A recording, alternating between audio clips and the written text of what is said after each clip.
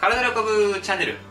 こんにちは。お元気ですか？管理栄養士の丸尾和樹です。さあ今日はですねダイエットのためのプロテイン選びという話をしていきたいと思います。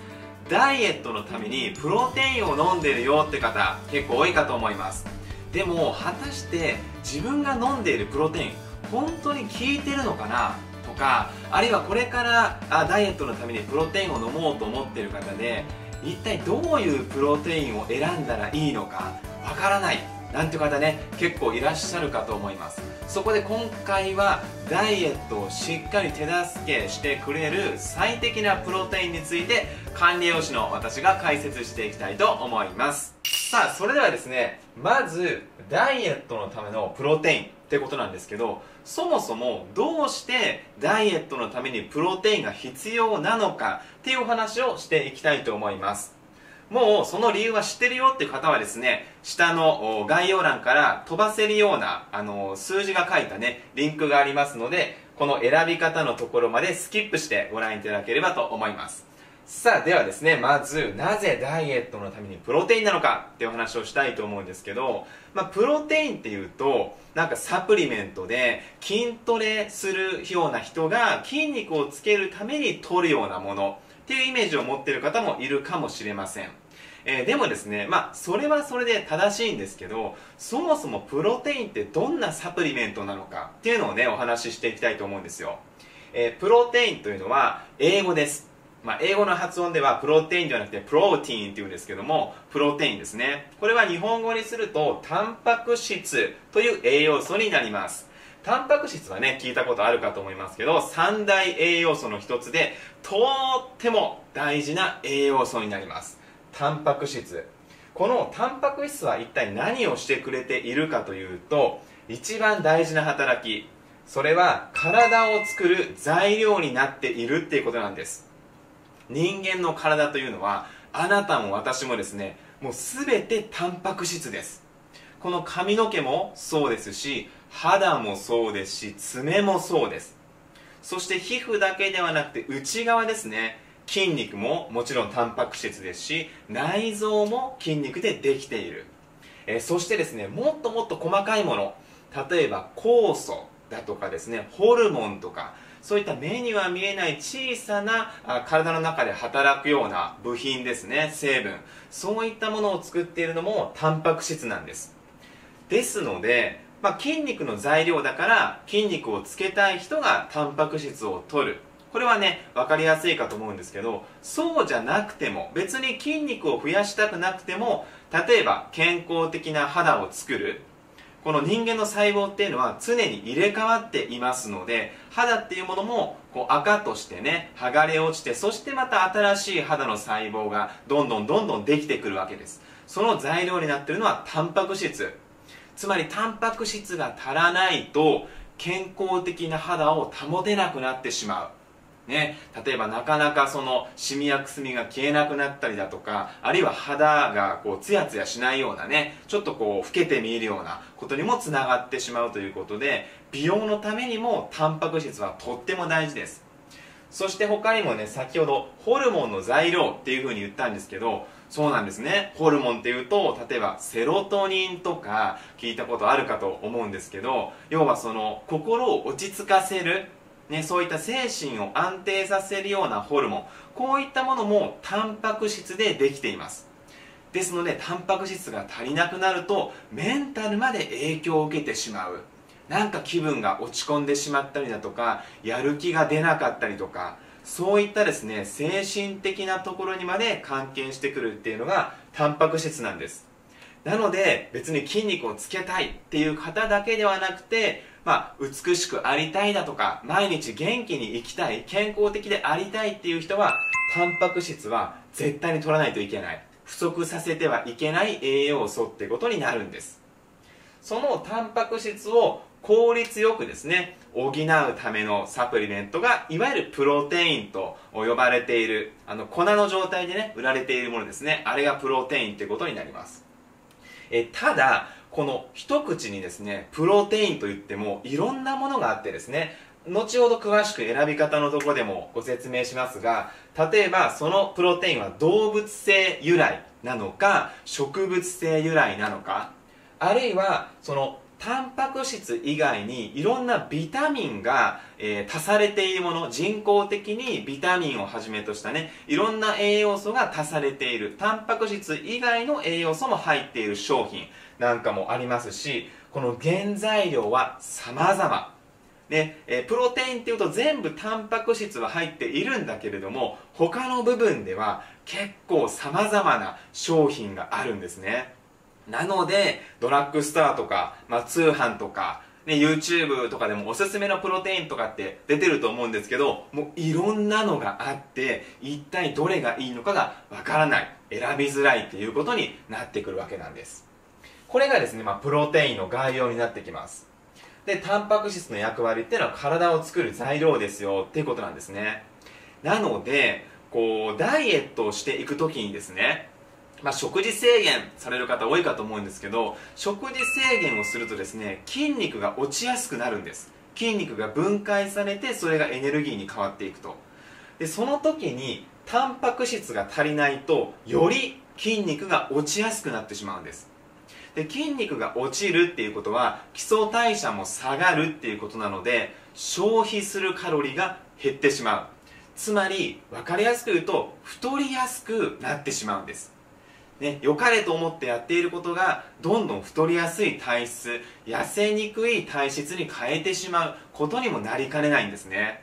ですのでダイエットする場合もちろん取りすぎのカロリーは減らさないといけない部分もあるかと思うんですが必要なタンパク質はしっかり取らないといけないってことが重要になってきます。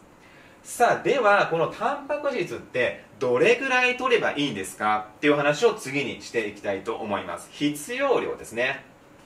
えどれぐらいタンパク質が必要か。これは体重 1kg, 1kg あたり 1g というのが目安とされています。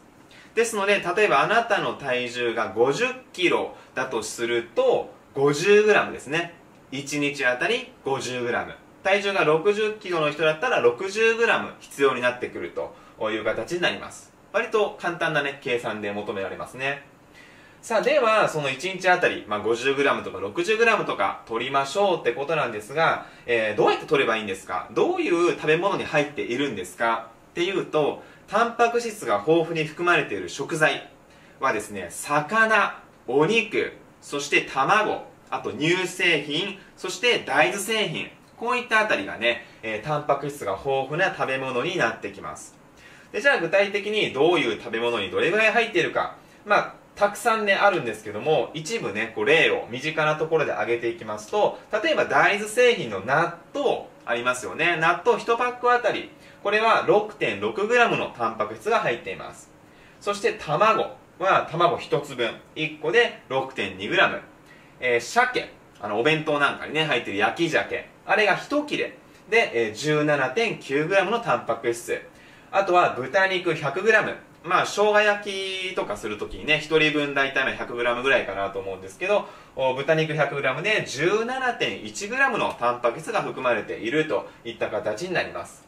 ですので、例えば1日あたり、まあ、体重 50kg の方で 50g 必要ですよ。で、3食食べてますよ。ってなった場合は、まあ、割る3していただくと、大体、いくらだ？17g1 食あたり 17g 取れていれば1日で 50g 達成となるわけです。さあそして 17g っていうと、まあ、大体鮭1切れとか、まあ、豚肉の生姜焼き作った1人前が大体まあ 17g なんですね。あの他にも、まあ、ご飯とかあとパンとかの中にも若干タンパク質が入ってますので、まあ、それも含めるとこれぐらい取っていれば大体足りるかな。納豆だったら卵かけ納豆にするとね、えー、結構量増えますけども、まあ、それぐらいしっかりとれば1日分足ります。ですので朝昼夜とこれぐらいねまあ割と主食っていうんですかねそういうお肉とかお魚とかそういったメインのものがドンとで朝昼夜全てに、えー、含まれていれば大体1日かけて必要なタンパク質量が取れるかなっていう感じ。なんですけどダイエット中の方でですねそれぐらいしっかり朝から、ね、お昼夜とタンパク質取れてるよって方どれぐらいいらっしゃるんでしょうか。ね、やっぱりダイエットしている食事は制限しているっていう中でしっかりタンパク質取れている方結構少ないと思います。もしかしたらダイエットしていない方でもね例えば朝ごはん本当に簡単に済ましているよとかお昼なんかもおむすびとかパンとかで済ましているよとかそういう方だと本当にタンパク質が足りなくなる。実は現代人はこのタンパク質が不足している人がものすごく多いというふうにも言われているんですね、まあ、ダイエット中だとなおさら不足は注意しないといけない。そしてもう一つのポイントがそのダイエットされてる方に限らないんですけども運動されている方。何かこうジムに通ってトレーニングされてるとかあるいはジョギングとかねそういったこう何か運動をしているって方。運動する場合はタンパク質もっと必要になります。さっきお伝えした体重あたり 1g っていうのはあくまでもまあそんなに運動してないっていうか普通の生活をしている人で体重あたり 1g なんです。これがもしですねかなり激しい運動をしているなんてなった場合は大体ね2倍ぐらいもうアスリートなんかはね体重あたり 2g とかあるいはそれ以上ね必要になってくるということになりますのでなかなか食事じゃ取りづらいよねダイエット中だとより取りづらいよねってことになるわけです。ね、だってタンパク質しっかり取ろうと思っておかずを充実させるとやっぱりカロリーも上がっちゃうしなかなか準備も大変っていうところがあるんですね。なのでダイエット中にプロテインを取る。でプロテインだったら余計なカロリーも取らなくていいし手軽に、ね、飲むだけ。もう液体に溶くだけですぐ取れるので手軽なんで忘れないっていうところ。そしてちゃんとタンパク質を取る。ねいうことができるわけなんです。ですので、えー、ダイエット中の方が今プロテインを取り入れてるって方が非常に多いんですね。だからどっちかっていうとこうしっかりダイエットしてなんていうかなそのただ体重を落とすだけじゃなくてもちろん健康もそうだし美容面もそうだしあとはそのただ数字を落とすだけではなくて見た目のねそのバランスも良くするみたいな、まあ、そういったことを目指されている方はやっぱりプロテイン取ってる方が非常に多いんだと思いますさあ、それではですね、前置きこれぐらいにしまして、ここからですね、今回の動画の本題です。選び方。ね、いっぱいあるプロテイン。どういうものがダイエットに向いてるかっていう話をしていきたいと思います。さあ、え先ほどもね、少しお話ししたんですが、プロテインは大きく分けて2種類です。それは動物性由来なのか植物性由来なのかというこの2種類がございます。えー、動物性って一体何なんですかっていうと乳製品牛乳ですね牛乳に入っているタンパク質から取ってきたものこれが動物性のプロテインになります具体的な成分でいうとホエイタンパクっていうものとかあとカゼインタンパクっていうものこういったものが動物性になりますちなみにドラッグストアとか、まあ、一般的に売られているプロテインのほとんどはホエイです。はい、ホエイタンパクなんで、まあ、動物性のものがもうほとほぼほぼっていう感じですね。で、もう一つが植物性なんです。植物性。植物性はどういうものから取ってきているかっていうと、まずソイ。えー、ソイっていうのは大豆ですね。日本語で言うと大豆のタンパク質。これがね、植物性では一番メジャーかと思います。あとは P タンパク。えー、P っていうのは、えー、豆ですね。えー、エンドウ豆とかああいった豆から取ってきているタンパク質とかあとライス、えー、お米ですでお米っていうとなんかえ糖質っていうイメージがあるかもしれませんけどお米にも実はタンパク質含まれています。そのお米に含まれているタンパク質から取ってきているのがライスプロテイン。あとはこれ後ほどね詳しくご説明しますけどもヘンププロテインというねこれ今僕すごく注目しております。あ今っていうかもうずっと前から注目してるんですけどヘンププロテインってものとかあいろんなねその植物性のものからタンパク質を取ってきているっていうのがありますと。で、まあ、この大きく分けて動物性植物性どっちがいいんですか？っていうと赤丸つけていますけども植物性がおすすめです。あの動物性がダメですよっていうわけじゃないんですけど、まあ、ダイエットのためにしっかりタンパク質取ろうっていうんであればわざわざ動物性にしなくていいかなって僕は思うんですね。でそのわざわざってじゃあどういう意味っていうとあの筋肉をつけたい方もう本当に、まあ、男性の方とかでね、トレーニングしてて、もうバルクアップ、筋肉つけたいんだっていう方は、動物性の方が、そこに対してはね、いいかもしれません。その健康的かどうかを置いておいて、筋肉を増やしたいだけだったらね、動物性の方が吸収が早いし、まあ、よりね、筋肉をあの増やしやすいっていうようなデータもありますので、まあ、筋肉ゴリゴリつけたいんだって方はもしかしたらね、動物性がいいかもしれない。でも、このね、動物性タンパク質って、ちょっとね、リスクというか、あの、良くない話もあるんですよ。まあ、ある本、ある研究によるとですね、このカゼインとかそういった動物性のタンパク質を取るとがんのリスクが上がるんじゃないかとかあとカゼインタンパクとかはですね腸内環境を悪くしてしまってねリーキーガットっていうんですけど腸のその粘膜ですね腸の壁のところに穴が開いてしまってアレルギー症状を引き起こしたりとかあする方もいらっしゃるんですね。だからそういう方がね乳製品やめてカゼインフリーの食事にするとすごい体の調子が良くなるなんて方もいらっしゃるのでちょっとリスクがあるかなっていうふうに思ってます。まあそういうふうに考えてるので僕自身もタンパク質、えっと、プロテインですね。サプリメントでプロテイン取るんですけど動物性のプロテインはやっぱり使わないようにしてます。だからこの辺はそういったリスクもあるんだよってことをちょっとね知っておいてほしいなっていうところと、まあ、そういったことがあるのでおすすめしないかなっていう感じですね。で一方植物性っていうのはそういったリスクがありません。あのー、まあ、もしかしたらね、大豆タンパク質とかで、これも体質的にね、合わなくてお腹がゴロゴロしちゃうとかっていう方はね、あの、もしかしたらいらっしゃるかもわからないんですけど、その場合は種類変えてみてください。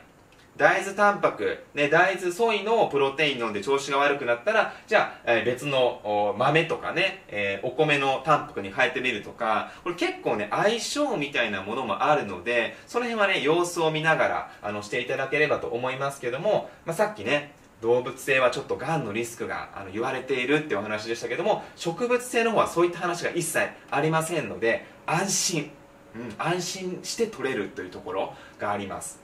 でダイエットのためにそのプロテイン取りたいっていう方は別にそんな筋肉をね何としても増やしたいっていう方はそんなに少ないと思いますのでだったらそんなねあえてリスクを取らずにリスクがない植物性の方がいいんじゃないかなということでこちらに赤丸をしております、まあ、これぜひね選ぶ際の参考にしていただければと思いますね。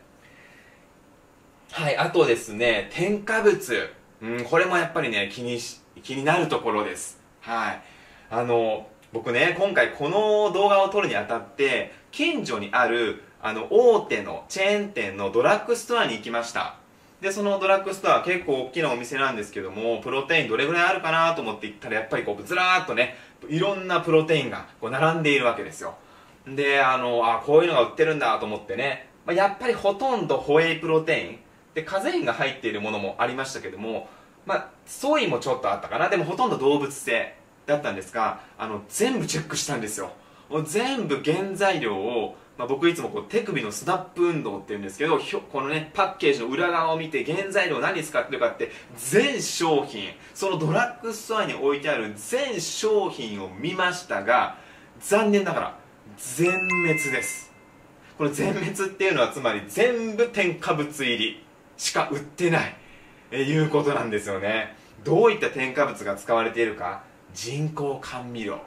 ね、もう全部飲みやすいように甘みをつける、ね、砂糖で甘みつけたらカロリー上がっちゃうからコストも上がっちゃうしってことで人工甘味料。あとは乳化剤、ね、溶けやすいように。いうことですよね。溶けにくかったらお客さんからクレームが入るかもしれない。ということで、まあ、乳化剤と。いうことなんですけどえこれダメなの？と、ね、人工甘味料とか乳化剤。ダメなの？っていう方はこれ詳細欄にね過去にえー、人工甘味料かな？に関して解説した動画がありますので、ぜひご覧いただければと思うんですけど、まあ、一言で言うとね、腸内環境を悪くします。はい、腸を荒らす添加物。それが人工甘味料と乳化剤ですので、せっかくね、あの、美しくなりたいと思って、タンパク質、プロテインを取るわけじゃないですか。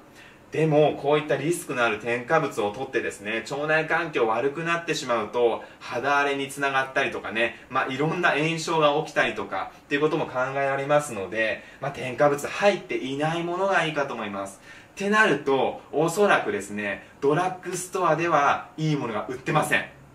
残念ながらねあの売ってないと思いますので、まあ、健康食品のお店だとかあるいは通販なんかが非常に手軽だと思いますので無添加のプロテインねで植物性のものとかあの検索していただくと出てくるかと思いますのでそういったものを選ばれた方がいいかなというふうに思います。この辺がね選び方のポイントです。さあでは最後に具体的にね一つあの僕がおすすめのプロテインのお話をして今回の動画終わりたいと思うんですけどこれね過去の動画といってももう結構2年ぐらい前の動画とかになっちゃうんですけどおすすめしててあの僕がやってるね通販サイトでも扱ってるんですけどいまだにもうリピーターさんがめちゃくちゃ多くてあのすごく売れている。その僕の通販サイトの中でも常に1位の座をこう揺るがないものにしているプロテインがヘンププロテインなんですよ。これね実物あるんですけどこれねヘンププロテインっていうものでしてあのこれねめちゃくちゃおすすめです。ヘンププロテイン。これどういうプロテインかっていうものをご説明したいと思うんですけどヘンプってね聞いたことない方も多いかと思います。ヘンプって何？ヘンプって英語です。日本語だと大麻草がヘンプです。で大麻草って聞くとなんかえ大麻ってあの麻薬のドラッグですか？とかってちょっとびっくりする方もいらっしゃるかもわからないんですけどもちろんこれ合法のもの安全なものでしてあの大麻草ってね全部のその部位がやばいわけじゃなくって葉っぱとかね花の部分とかは違法になるんですけど種と茎の部分はね OK なんですよ。そのいわゆるドラッグ的な作用をするものが全く含まれていない場所ですので、えー、安全なんですね。でその中でもこのヘンププロテインっていうのは種大麻草の種から、えー、作っているプロテインになります。でちなみにねこの大麻草の種ってすごい身近なところにも使われていてそれが七味唐辛子。あのうどんとかねこうかけたりする七味唐辛子ですねピリッとする。あの中にも大麻草の種が入っています。朝の実っていうふうにね書いてるかと思いますけどそれはヘンプヘンプですね。ヘンプの種になります。さあでこのヘンププロテインなんですけど何がすごいか。あのこういったね市販のプロテインって例えばまあ乳製品とかからタンパク質だけをこう人工的に取ってきてでいろんな他の人工的なビタミンとかをくっつけて配合して売られているものがほとんどなんですけどこのヘンププロテインね原材料はなんとたった一つなんです。これ実際見ていただきましょう。はいこちらのヘンププロテインですけれども原材料ちょっと小さいから見えないかな。あ見えるかな。原材料名朝の実微粉末って書いてますね。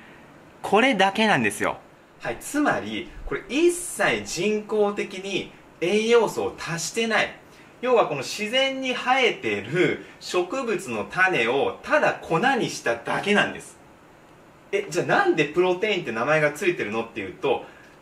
もうねこれナチュラルにタンパク質が多いんですよ。この朝の実っていう大麻草の種ですね。なんと重量の半分がタンパク質です。だからこれ1回あたり、えー、15g とか 30g とか取るんですけどそのうち半分がもうタンパク質なんでめちゃくちゃプロテインリッチなんです。そして一切他に人工的にね栄養素を足していないにもかかわらず食物繊維がものすごく多いのとあといろんなミネラルも多いんですね。カルシウムマグネシウム亜鉛鉄もうまさに足りてない。もう日本人が足りてないような栄養素が自然に入ってるっていうもう奇跡の植物なんですよ。なんでこれもっと広まらないのって思うんですけど、まあ、法律の関係もあってね、国内で作れなかったりするので、海外のものが多い、多いというかほとんど、まあ、全部なんですよね。とかの関係もあってなかなか広まってないので、なんか知る人ぞ知るっていうプロテインなんですけど、これが本当にすごい。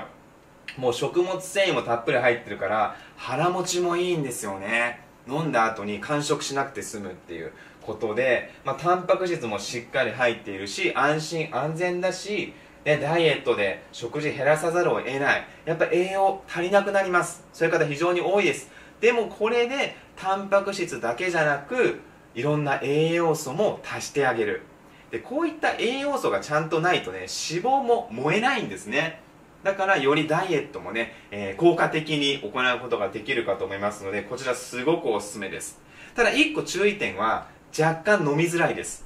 なんせこれもちろん人工甘味料も入ってないしお砂糖とかも何にも入っていないので人によってはちょっとプレーンだと飲みづらいっていう方もいらっしゃるかもわかりません。そういう方はねちょっと甘みつけてあげるといいです。でこれに関しても過去に美味しい飲み方ってものを挙げてますので、えー、概要欄から見ていただければと思いますけど例えばね豆乳で溶いてちょっと甘酒を入れてみるとかねするとすごく飲みやすくなりますのでぜひお試しいただければと思いますこちらね僕のやってる通販サイトで扱ってますのでこちらも概要欄にリンク載せておきますのでよろしかったらチェックしてみてください